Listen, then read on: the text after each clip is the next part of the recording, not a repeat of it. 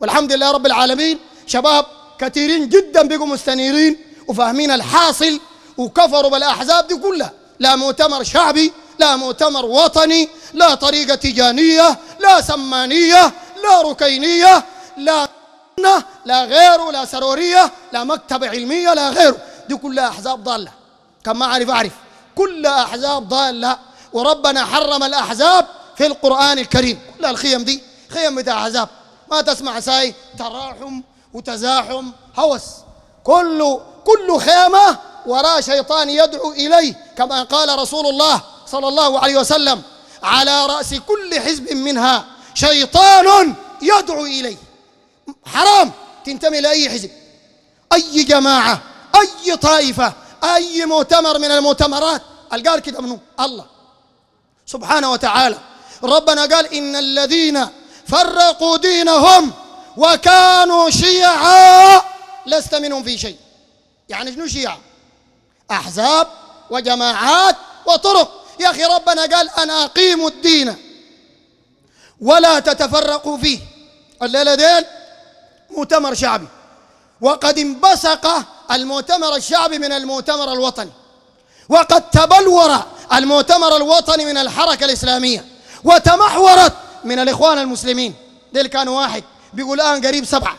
أنصار السنة كم؟ صار السنة الآن خمسة. جناح أبو زيد جناح المركز العام. ديك ناس الإصلاح ديك ناس المركز العام.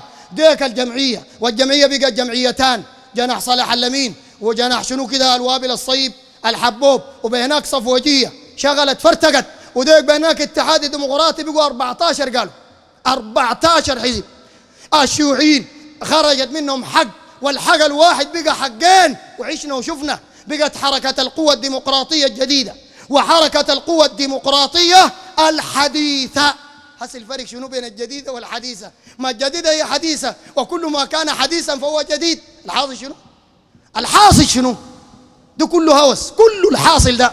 والصوفية صوفية أقول لك نحن أحباب رسول الله. منو فيكم؟ منو؟ أحمد التجاني بتاع التجانية قال أنا عندي صلاة. نجرتها من راسي أفضل من القرآن من كلام الله بستة ألف مرة. أمسك البرهاني بجاي المجدوع راقد بجاي ده أحمد عثمان عبد البرهاني. ده قال أنا الله عديل. ده اختصر الشغل التب اختصر الكفر تب قال أجود على أم لترحم طفلها. أنا قال البجود بالرحمات ما الله. مش ربنا قال ورحمتي وسعت كل شيء. قال أجود على أم لترحم طفلها. فرحمة من في الكون؟ من بعض رحمتي. جبريل ميكال إسراف وعزراو جنودي في التصريف هم تحت إمرتي. أنا الحق في الدنيا. أنا الله ذاته أنا الحق في اللقاء يوم القيامة. أنا الحق. أنا. أنا الحق في اللقاء. إذا الأرض مدت والسماوات عقتي فاترك كل الأحزاب دي. أقرأ قرايتك دي يا أخي. أقرأ قرايتك دي. وصلي في الجامع ده. وحد الله. لا تعلق حجاب. لا تعلق كمون. لا تعلق قلبك بشيخ لا زر لك قبة ولا ضريح ولا قبر بتاع شيخ. لا تتبع لي طريقة. لا تمشي لعاطل يفتح عليك الكتاب.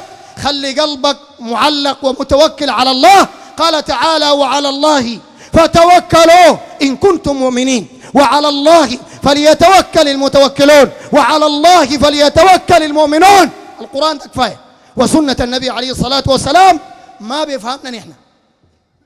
ولا بفهم ديك إنما بفهم الصحابة الذين رضيهم الله لرسوله صلى الله عليه وسلم.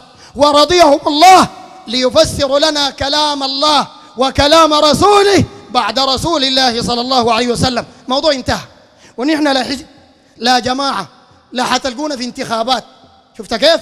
ولا حتلقونا واقفين جنب صناديق اقتراع ولا عندنا دار بندعوك له ولا عندنا استمارة. ولا عندنا سكراتشات بنوزعها. كل ده ما عندنا. عندنا قرآن وسنة وتوحد رب العالمين وتقرأ قرايتك وتمشي البيت. موضوع انتهى. موضوع انتهى. وأي باطل ما بنخليه. والله الشعب مش لو ارتع كله إن جاء إبليس برتع معاهم ذاته. بإذن الله نجغمهم تت بإبليسهم ذاته. بإذن الله سبحانه وتعالى. دي ناس مجارمة وناس زنادقة وناس ملاحدة. الله هذا الذي أعتقده في من يقول أمثال هذه الأقوال جميعا. وبالله التوفيق نفتح فرصة للأسئلة.